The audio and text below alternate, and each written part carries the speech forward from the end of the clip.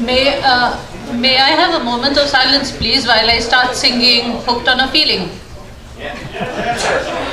Threats work. We have a special guest today. And uh, to introduce our special guest, we have Jonathon Angell from Hackers and Founders. That was a threat. I still might carry it out. The evening is still young.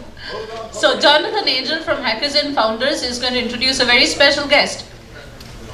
Okay, that would be me. Hi everyone. Okay.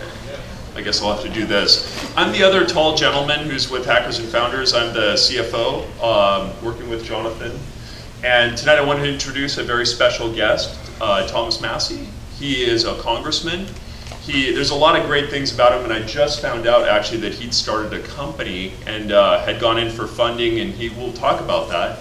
Some neat facts about him are he's from Kentucky. He's here visiting us. He's going to tell us some neat things about his house that he built with his own hands and is off the grid. And with that, let me introduce our congressman.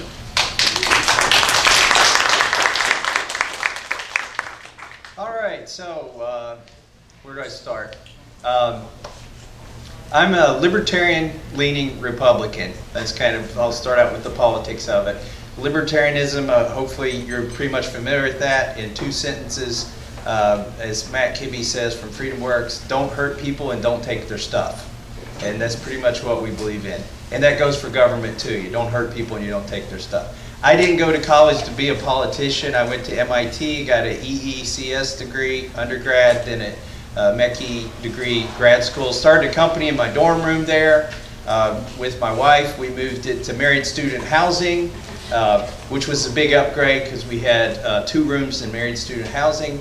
Then we moved it into an incubator space uh, near the MIT campus. The directions to get to our office were turn uh, left at the nuclear reactor, right at the gay bar, and left at the candy factory. And we were just only two blocks from MIT. Uh, we moved three times since then. We raised $32 million of venture capital. We did not go public. We didn't hit the big home run, but we did get to first or second base. Uh, I sold my ownership to the VCs. By the way, it's a virtual reality interface that I invented. You can feel three-dimensional objects by holding a stylus and moving around. We uh, raised a bunch of money, wrote some software for sculpting, computer-aided design. We sold it to toy companies, shoe companies, jewelry companies, and uh, that's what I did then. Uh, moved back to Kentucky, built a house that's off the grid. Uh, it's a timber frame house, so it's all held together with wooden pegs. There's no nails. I wanted to do it the hard way. Um, it's solar powered, so it has a 10 kilowatt array, um, and pretty much everything is off the grid there.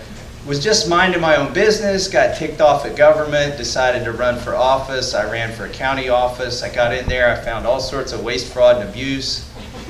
Uh, uncovered that, made a lot of friends, not. Um, sort of built a reputation for, for that sort of thing. And then when our congressman resigned, I ran for office. So, um, and now I represent northern Kentucky, which is the area near Cincinnati, but it's in Kentucky, in uh, Kentucky. And uh, I'm on the, the Space Science and Technology Committee, the Transportation Committee, and the Oversight Committee. And uh, the one hack that I did at MIT, so hacking there also meant hardware as well as software. So one of the hacks I did was we had electric or uh, mechanical blackboards that when the professor was done writing, he would send the board up to the top of the of the uh, lecture hall because you know these were 300 person lecture halls. So uh, we snuck in at night and I built a circuit and put it into the control mechanism for the boards. So at the same time every day for like two years, the blackboards would move. And of course, this coincided with my class at the time. Uh, one, one interesting thing about that hack, it was great because the professor didn't know what was going on. He would write something, he would turn around, and the board would move. I couldn't stop it if I wanted to. So there were times when he was he was leaning up against the boards, and I was wondering if it was going to break his arm or something as it came down. That never happened, but I woke up one morning on a Sunday and realized that daylight savings time had occurred. And um, uh, so I snuck back in. You know, you had to pick locks, go through the ceiling and the floor between two floors, drop down in a closet, fish the circuit back out through the itchy insulation, and I changed the, the clock so that it would work next Monday when daylight savings time came. And of course, the, the, uh, the clocks at MIT, they hadn't even fixed those, so the ones on the wall were wrong. And the professor stopped about 30 seconds before the boards were supposed, or would normally move. Uh, and he said, I guess you're all wondering what I'm wondering. Did the boards take into account daylight savings time? And, and so the, the whole class stopped for 30 seconds. And then when the boards started moving, it was just, they erupted in roar of clapping and laughter. So it was worth sticking my arm back in that itchy, itchy insulation to get that circuit back out. But anyways, um, that's about it. I'm in Congress now. It's messed up. It's really screwed up. Uh, it's worse than you think. And I don't know what else to tell you. So I'll leave it at that. I know every, uh, there are other people that want to speak, and maybe um, I can talk to you later if you have questions or anything. But thanks for having me today.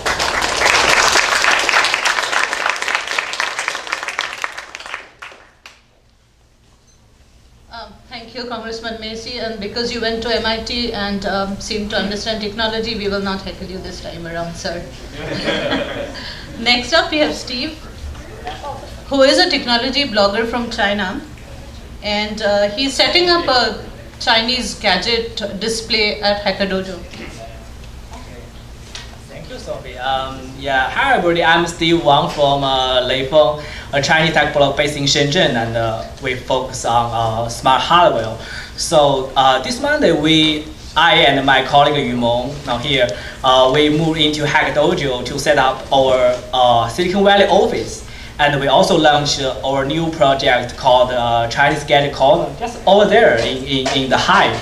So you may, you may see that. So um, basically, it is a showplace for Chinese gadgets, for Chinese smart hardwares. We want to create a simple way for um, Silicon Valley people, for tech fans, for hardware developers, for uh, tech reporters, for investors to explore uh, and play with the Chinese gadgets, the gadgets made, made and designed in China.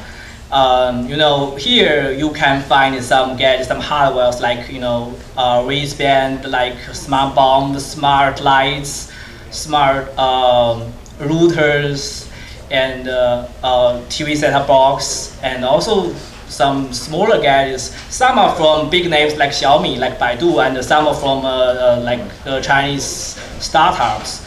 So uh, you know, many Chinese gadgets do not have um, do not have English apps or instructions, but we can help you to understand these things. So about gadgets like this one, you, you may know that uh, Google Cardboard, and this is made in Shenzhen. So uh, it enables people to turn, turn your smartphone into a, a VR headset. You can watch your uh, watch vi virtual reality videos and play virtual reality games. Just plug your smartphone into this headset, and you know this kit on Amazon. Most of them are around twenty dollars. And uh, last week, Case, a San Francisco-based startup who made iPad cases for President Obama, demoed their uh, own VR the cover kit here in Hack Dojo. So I asked them a question, do you think it is a little bit expensive? And, and then people laughed. But to me, it is really expensive because you know this kit made in Shenzhen is only three dollars, and the performance is it, it, it seems like it's also very good. So another example of our gadgets like like this one. Um, it is you you may hear of uh, Pressy, and it looks like Pressy um, some people may think it is a copycat of but I think it is more, it is easier to use. Then you just plug into the smartphone and yeah, uh, you press it. And then one picture has been taken. And then you press it twice. And you may receive a fake phone call. So if you want to end a conversation on a party with somebody you don't want to talk to anymore, so you, you can use that. And you know, this is only less than one dollar. So it is made by uh, Qihoo, also a 10 billion company uh, in China. So uh, if you are interested in Chinese gadgets, if you want to play with these things, you want to uh, find out the UI, their apps, uh, their design, if you want to know more about Chinese hardware industry, yeah, please feel free to drop in and uh, we will try to answer all of your questions and help you to understand the, the hardware industry, also the manufacturing resources in China. Uh, besides, I'm also a reporter, uh, tech writers uh, focusing on smart hardware industry. So I came to Silicon Valley this March and I have uh, I wrote a lot of articles about the Silicon Valley hardware teams, like you know, Pebbles, like yeah, the, the Roboterra, and also the Misfit, also Indiegogo, these things. And uh, yeah, so if you have stories, you have interesting gadgets, if you want to be covered by uh, Chinese press, so you can come to me and uh, we may schedule we may schedule an interview with you, and um, then I write an article for you to post it to Lei Feng and uh, for our Chinese readers.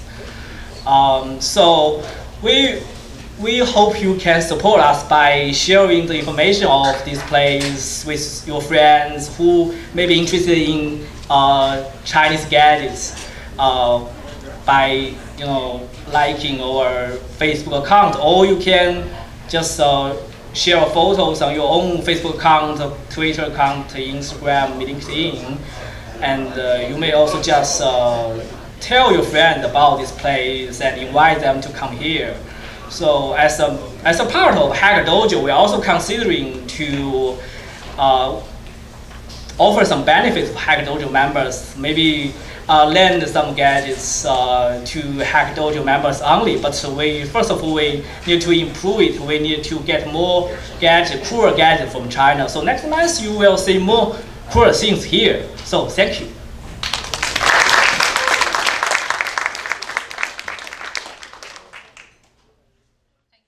Trucks. We have another. Uh, we have Jesse, who is also working on something truck related. His is a IoT app which lets uh, businesses monitor cargo and check out the temperature of the trucks. You all know Jesse, uh, he is the gentleman who taught us how to give lightning talks, the first or the second session? The second session. Thanks, Jesse. Thank you. All right, um, I unplugged this, I hope this will be quick. I've got to get everything to, there it is. All right, and let me apply this. It's good, thank you for that. And usually I drag and drop this right over where it goes. There we go. Um, and since I can't see it, I'm going to have fun with this. I may hit that and not even know that. And I've got to hit this button or otherwise it's going to go back to the way it was. All right, thank you very much for your patience. My name is Jesse Monroy, and uh, I've done a lot of things in my life, but recently uh, uh, somebody came to me at a hackathon and they gave me one of these things. And it measures the temperature of truck trailers. And if you ship produce or any kind of food, it measures this and they measure the, this and then when you're done they take it out and it's a one-time use, it's 20 bucks. And I was astonished to know about this thing. So I found a nice replacement with my friend John Brewer is not here today, who lent me this. This is a Texas Instruments SensorTag. It is $25. It's BLE capable, Bluetooth Low Energy. So off we go to the mission.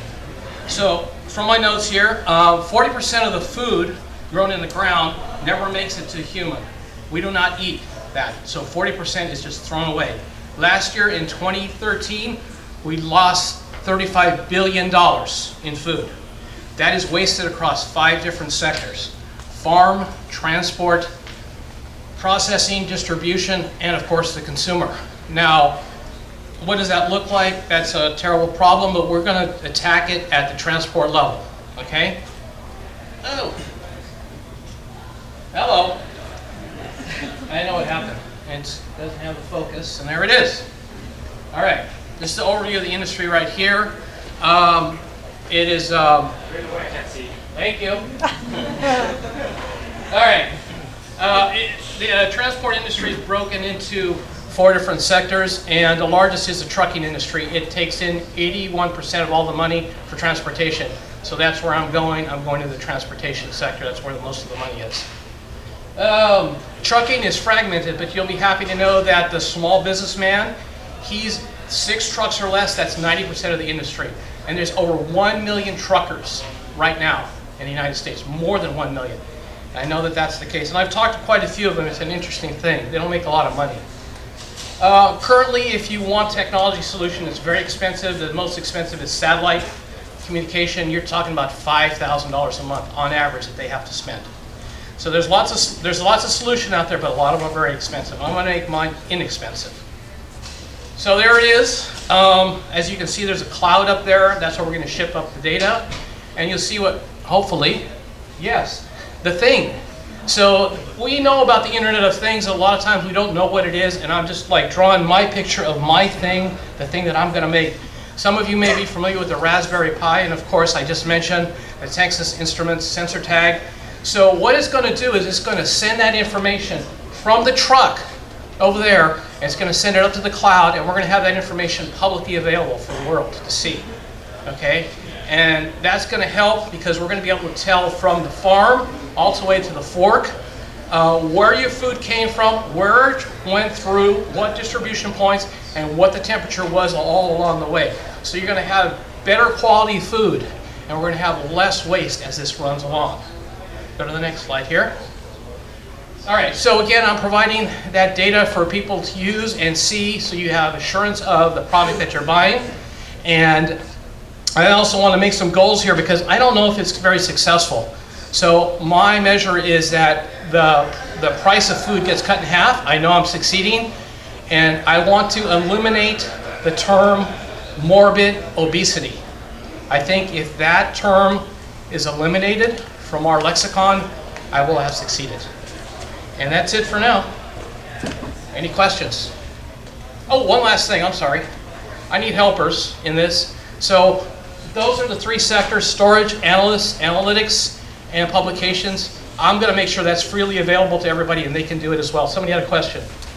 Yes? You mentioned that the TI chip has got a low energy Bluetooth in it. That's um, correct. Does that mean it has to pair with some other transmitter to actually send to the cloud, or does that so the question is about the Bluetooth Low Energy. Uh, it does not need to pair with anything, but of course it's going to need to pair with the, the computer, the Raspberry Pi, and the Raspberry Pi will transmit that via cell phone or whatever communication method it has up to the cloud. Any other questions here right now? All right, yes, sir, in front. So you got a truck that's 60 something feet long. Uh, trucks are 53 feet long. Okay. Yes, sir. So you'll have to put a few of these in there? And, That's correct. And how do you? Okay, again, uh, the question is how do you power these little guys here? No, no, I'm talking about the data collection. The data collection. Okay, the data collection. So these things right here in my hand, these are powered by watch batteries, and the computer that's powered there, it it's essentially is a cell phone or a tablet. And if that's not enough power, there is 12 volts available on the truck. It's part of the standard CAM system that comes on the truck, so it's not going to be a big issue. I do have to make a few wiring modifications, but nothing big. Anybody else? Happy for questions? Anybody? How much does it cost at production or at scale? Um, my bill of materials right now is around $500. I'm looking to get it down to 200 and I think the retail price will be uh, starting out 5,000, but I'm looking to get it down to 1,000 per truck within two years. Yes, sir. Other than being a less expensive option than what currently exists, how is this going to prevent um, us losing food to spoil? Okay, losing food from spoiling is the question. How is this going to help prevent it? It's not going to. So, you know, um, we would hope that we have all sorts of automatic techniques in the world, but I want to make sure that I'm very clear on this point. I build technology to assist humans, not replace them. That's one of my goals. It's not stated up there because I didn't want to put it up there. So I'm hoping other people will take the same channel as I have here, assist humans, don't replace them. And that my time is up, and I thank everybody for their time. My name again is Jesse Monroy.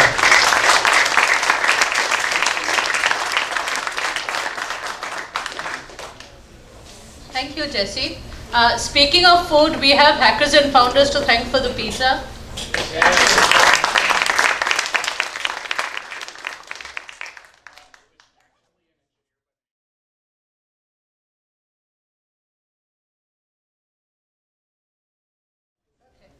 And uh, thank you, Hacker Dojo, for the beer.